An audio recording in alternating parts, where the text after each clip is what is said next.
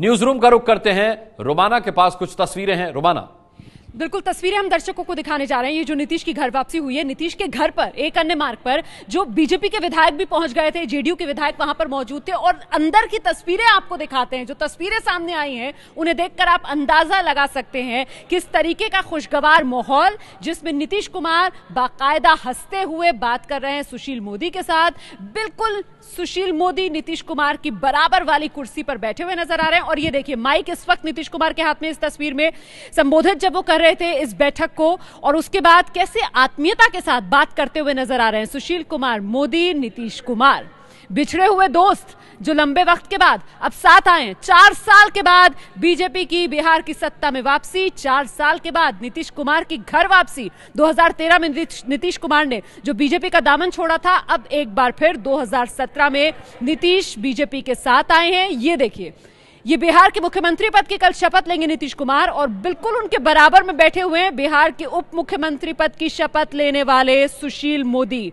वही सीएम, वही deputy CM Bihar को मिलने वाला है जो पहले एनडीए सरकार में था।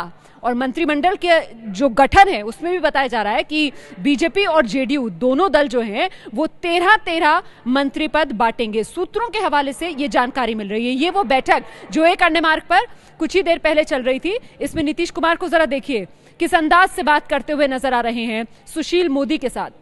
बड़ा फैसला नीतीश कुमार ने आज लिया, जिस वक्त वो राजभवन पहुँचे थे शाम में साढ़े छह बजे, और उन्होंने मुख्यमंत्री पद से इस्तीफा दिया। बाहर निकले, मीडिया के सामने आए, बताया कि उनका इस्तीफा राज्यपाल ने स्वीकार कर लिया है, और इसी प्रेस कॉन्फ्रेंस में नीतीश कुमार ने कटघरे में खड़ा कर दिया लालू प्रसाद यादव को। सीधे सीधे अपने इस्तीफे का ठीकरा नीतीश कुमार ने लालू प्रसाद यादव पर फोड़ा। कहा कि हमने तो कभी तेजस्वी यादव से इस्तीफा मांगा ही नहीं था, सिर्फ़ इतना कहा था कि आइए सामने और सफ़ाई दीजिए, क्योंकि सिर्फ़ इतना भर कह देना कि ये राजनीतिक साजिश थी। ये समर्थकों के गले तो उतर सकती है दलील, लेकिन जो आम जन है, वो इस दलील को नहीं समझेगा। और ऐसे में नीतीश कुमार की तरफ़ से कहा गया कि देखिए, रास्ता नहीं बचा था, इसी वजह से लालू प्रसाद यादव से रास्ता अलग कर लिया। और अब ये बिहार की सत्ता में जो नए नेता उभर रहे हैं, उन्हीं की तस्वीर आप देख रहे हैं। नीतीश कुमार जो एक बार फिर बिहार के मुख्यमंत्री की शपथ लेंगे कल शाम पाँच बजे, और उनके साथ बिहार में डेप्यूटी सीएम की शपथ लेने वाले कल सुशील मोदी नज़र आ रहे हैं, जो पहले भी नीतीश के डिप्टी रहे हैं। और उनके बराबर में आप देख रहे हैं, जेडीयू के प्रदेश अध्यक्ष वशिष्ठ नारायण सिंह बैठे हुए हैं।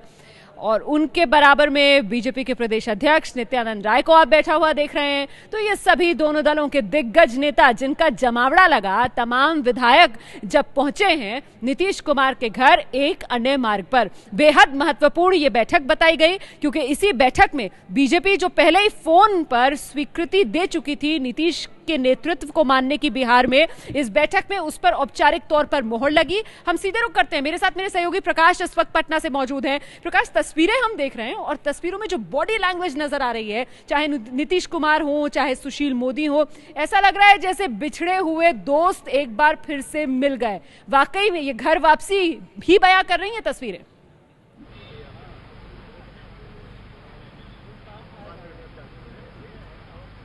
बिहार में बाहर है, नीतीश कुमार है, किसी की भी सरकार है, नीतीश कुमार है। यही कुछ जुमला है जो आज चल रहा है कि किस तरीके से, नाटकीय तरीके से नीतीश कुमार पहले महागठबंधन को छोड़ते हैं, फिर इस्तीफा देते हैं, फिर वापस बीजेपी के साथ आते हैं और बीजेपी के साथ सरकार बनाने का दावा पेश करने वाले हैं अब से कुछ ही देर बाद।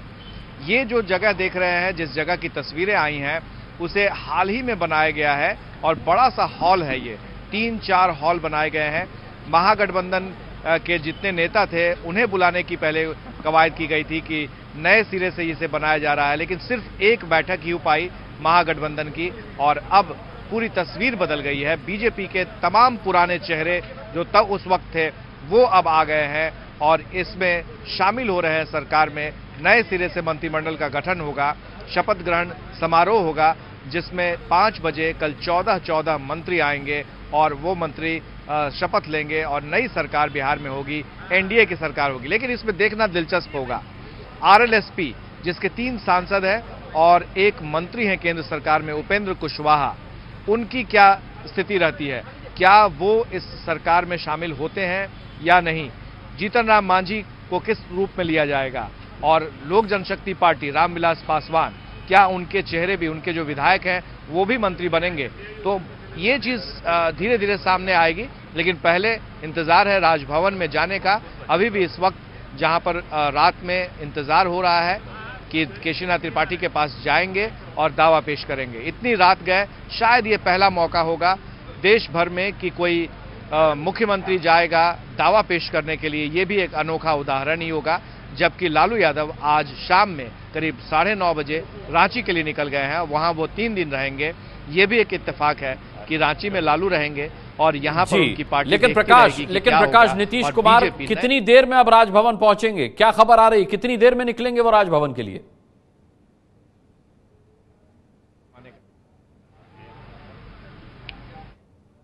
पीएम ये जो सीएम हैं, उनके बारे में बताया जा रहा है कि अब वो आ चुके हैं और किसी भी क्षण निकल सकते हैं, लेकिन अभी तक बताया नहीं गया सिक्योरिटी अलर्ट कर दिया गया है। बाकी अब कितने देर में निकलते हैं और कौन नेता उनके साथ होते हैं शायद डिप्टी सीएम जो बनने वाले हैं, सुशील मोदी, वो भी रहेंगे और वो उनके साथ जाएँगे। लेकिन अभी इंतज़ार हो रहा है, तमाम लोग, इतनी रात गए भी, यहाँ पर जेडीयू के कुछ कार्यकर्ता भी मौजूद हैं कुछ बीजेपी के भी नेता मौजूद हैं। बीजेपी के तमाम विधायक और बड़े नेता यहाँ पर हैं और एक साथ गले में गले बाँध गले में गले लगा करके, बाहों में बाहें डाल करके फिर से वही गाने, गीत गा रहे हैं, जो पुराने समय में सत्रह साल तक इन लोगों ने गाया था। ये दोस्ती हम नहीं तोड़ेंगे। दोस्ती टूटी भी और फिर से दोस्ती बनी है। बिल्कुल, ये जो तस्वीरें हम देख रहे हैं बैठक की, इसमें नहीं लग रहा कि कहीं कोई मनभेद रहा। चार साल तक सुशील मोदी अलग रहे नीतीश कुमार से। साफ़ तौर पर जिस आत्मीयता के साथ ये मिल रहे हैं, ये देखकर नहीं लगता कि कभी दोस्ती टूटी थी। ये है एबीपी न्यूज़ आपको रखे आगे।